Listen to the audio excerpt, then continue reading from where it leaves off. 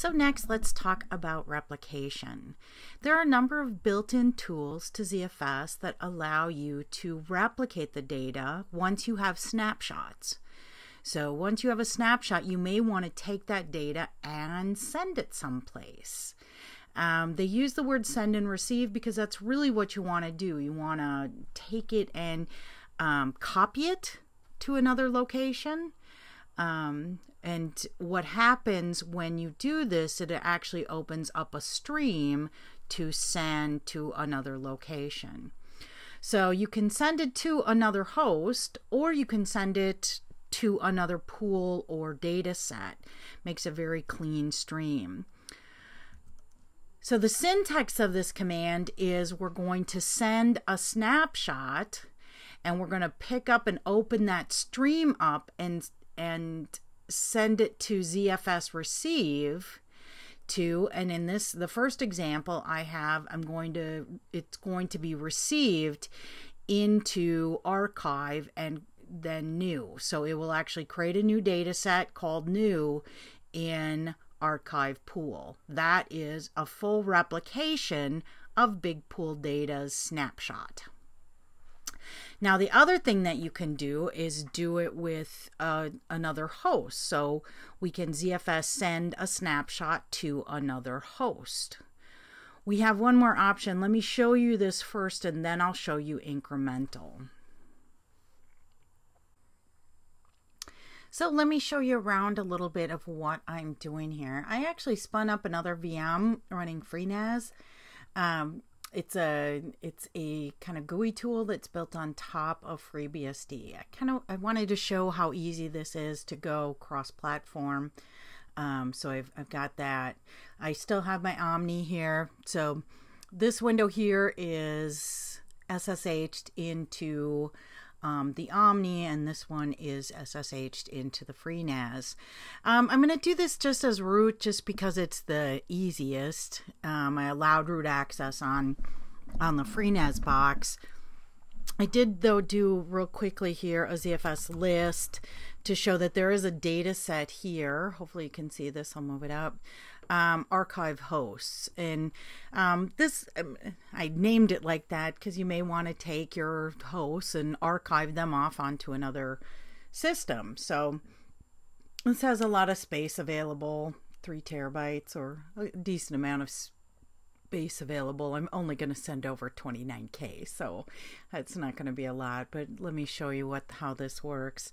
Instead of you having to look at me type this all out, Let's make sure I have this right. So I'm going to send this snapshot, so big pool data at today, and I'm going to send it over SSH to this IP address.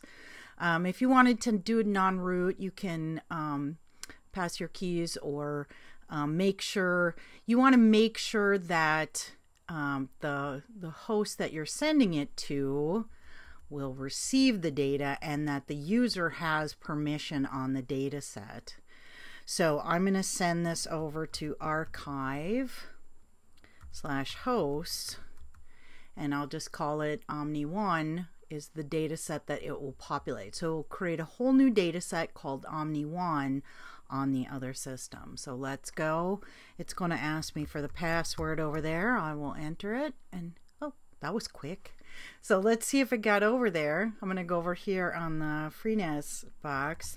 They mount everything up onto MNT. Archive, hosts.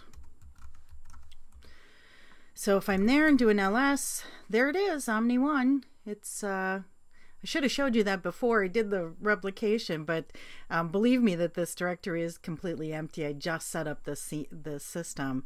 Now when I do the ZFS list, you'll see that it's created it as a data set now on the remote system and it should be populated. And if we go in there into Omni 1, we'll see eh, uh, ls we should see there's our file. There's our other data sets below that that uh, are just directories when they come off here. Um, and uh, Yeah, the data's over there. Now, if we wanted to um, do another snapshot, we would, our syntax would be so ZFS send and then a minus I that says send me incrementally between this snapshot, the one I took yesterday, and the one I took today, and then send it over SSH to the remote host.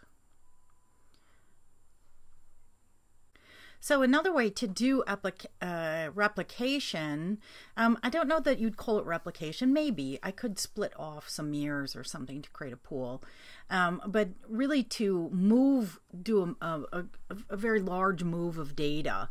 Um, I've seen people do this, especially if they're moving a big set of data from one data center to another. Um, they don't want to do that first big send, um, so they um, you know, they create a pool, they um, do the replication locally. So they do a ZFS send from one pool to the other pool and then export the pool and then physically move the data. I've, you know, people move uh, large JBODs and, and uh, whatnot to other, the other data center and then they get to the remote host and they zpool import. Um, I've done this across a number of different, um, not different architectures. Well, I've done it across SPARC 8 and x86, but across a number of different distros. And that's a thing that's very cool is that um, I was I was just reading something today where this person was worried about moving their data from one enterprise storage to another. And you know all they they can't repurpose the disk right? They don't get to redo the disk. They have to copy it or move it somehow. But the originating disk um, you know is is in a proprietary frame with a proprietary file system with proprietary everything. Um, so here it's not right? It's all open source. So we export the pool on one host we import it on another host.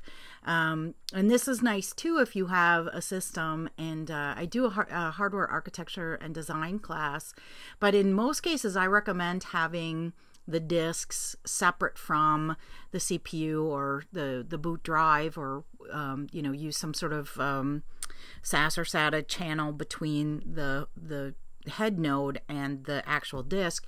And it makes it very easy to export import um, between frames, like between test and dev, and um, production too right? Being able to move move that data physically move that data just by reconnecting different um, channels instead of having to um, I, I, remember listen you know I have a I have a lot of customers who still do FTP you know just to move the data from one location to another. So um, so if we do this let me show you this so let's start. We'll just go Z pool list real quick. We have our root pool and our big pool. I'm going to do a Z pool export of big pool. At this point, it may still be physically connected, or you can move to another host. Or um, as you move to another host, if you do a Z pool import with nothing, I could say big pool because I know it's big pool but I can do a zpool import without bigpool and it'll actually show me bigpool. Um, I actually had to reconfigure bigpool with actual real devices. This didn't work right um, with just the files. But um, yeah, and you see that bigpool is made out of these two disks and the pool can be imported using its name or numeric identifier, which is this thing here. Um, every pool on the planet should have a unique ID. So let's go import zpool import big pool and zpool list. And there you go. It's back online again. Oh, I forgot to show you that it wasn't there. Let's go export zpool list. Gone. zpool import big pool. zpool list. There it is.